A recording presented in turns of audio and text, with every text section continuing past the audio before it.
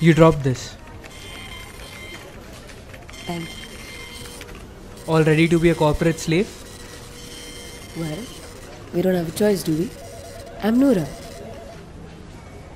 Miss Noora? All the best. I'm Jay. Yeah.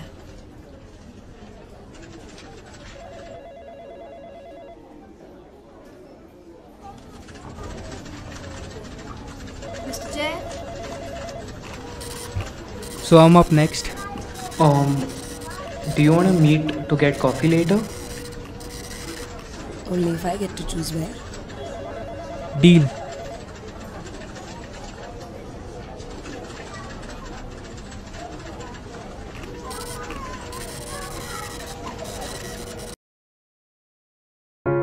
Let's pretend that we are stuck in the wooden frames of the mind, of the room that hums rhythms off the wall, where, where the melody scatters with the droplets of my soul's raging storms.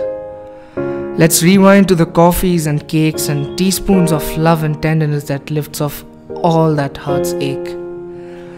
At conversations and mumbles about love that we both know don't exist just yet to the rosiness of your cheeks when they flush right away after the winter snow, as also when I kiss them while I fumble on my tiptoes, to the loose thread of our open conversations left for mending at my blouse's hem. Once stuck in a thorn, but now free with a rip waiting to be mended. To be kissed, to be crossed, to be sewn back as it leaves me out of my breath. In a city of marble and stone where love is carved into every speck of its being, I am left to marvel at the way your tender skin presses against them, leaving a trail of its cold breathlessness into drops of fuel as it begins to gleam. Let's pretend that it is real, that your scent still lingers in my bloodstream, the subtle smell of lavender fields teasing every nerve in me silly. Wait. Let me go back to when I first lay my weary eyes on you. You in your silent glory. You in your pale white dress. You in your childlike grace, showing me eternal futures where you and I could be. Like the song that played in my head as I lay my hand on yours. You fill up my senses. My senses could only sense your almond eyes, your musical laugh, and your delicate heart just like the damp earth reeks of the nurturing rain. Like the glistening sand under the warm sun, like the loose strands waiting playfully to be brushed behind your ear.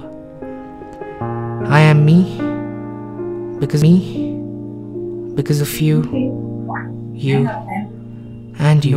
No, you hang up. Let's pretend that there is a home whose walls echo in our breathless laughs resonating through scary storms and chilly nights. For our love surpasses the elements that threaten to break us.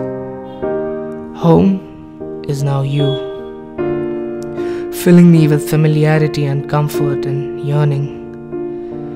Yearning came into my life just as you did, leaving me with a sense of missing out on you.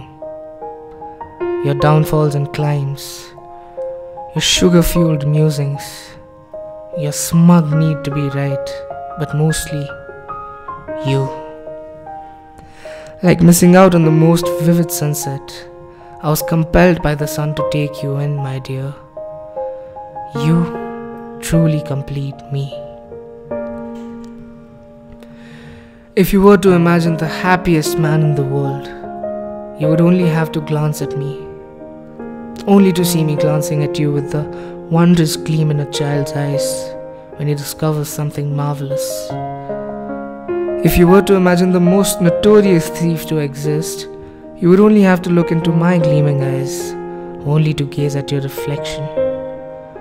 For you have robbed me of my insecurities, my walls, but most obviously, my heart. My unassuming, dormant heart ran away from you at first, for it was unprepared for love so fierce, but love. Love as a as a child runs to his frantic mother. My heart could not escape you, for it is yours. Let us now pretend that our time is limited, that our destinies are not meant to align, like the creepers that started at one root now have to diverge. I would be left to grasp at every hushed whisper, every drifted train of thought, even the painful ones, and piece them together for you can save me, I hope.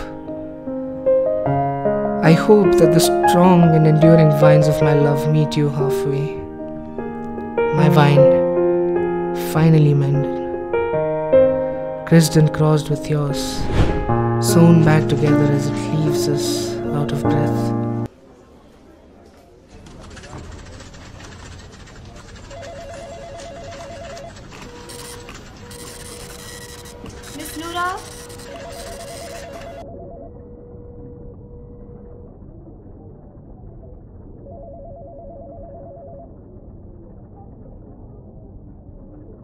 My vine, finally mended, criss and crossed with yours, sewn back together as it leaves us out of breath. There's love, and then there's you. And then there is my frail body trying to balance the two. I know that this might be our only night, but putting labels on the heart's working was never my kind.